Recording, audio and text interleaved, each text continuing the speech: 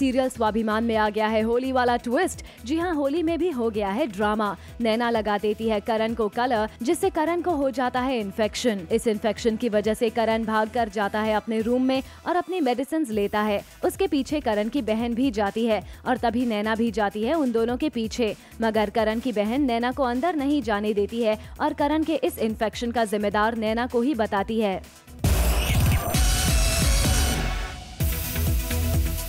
क्या अली को मिल गई है उसके बचपन की बेस्ट फ्रेंड अवनी? जी हाँ हम बात कर रहे हैं सीरियल नामकरण की, जहाँ पर रिया अवनी को लेकर गई है एक कैफ़े में, जो है अली का। कैफ़े में अली अवनी को देखकर पहचान जाता है, मगर वहाँ रिया उसे बताती है की ये अवनी नहीं, बल्कि अनन्या है। दरअसल अवनी ने अब बदल लिया है अपना नाम। और इस बदले हुए नाम के पीछे का रीजन है दयावंती। अवनी लेना चाहती है दयावंती से बदला। अब देखना इंटरेस्टिंग होगा कि अवनी की सच्चाई कब तक सबसे छुपी रहती है।